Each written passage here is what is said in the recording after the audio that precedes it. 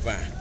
I keep my head up, never to regret, till I was strong when decided, and that's what I meant. In God's hands I will stay to pray in his way, which ends with paradise where the angel bodies are made. I'm protected in which evil cannot harm me, because his people are unbeatable like a golden army, secured by his presence, avoiding killers around another world where they created sinners, controlling, transforming like lizards to serpents, which made him the person who was only perfect. Many people ask why they would exist prisons. The answer is clear, the man speak that many didn't listen. Bad consequences influence bad what happens. The world will punish the one who refused to Ten Commandments. Wait till the day comes and the mission that will speak of his name and his decisions.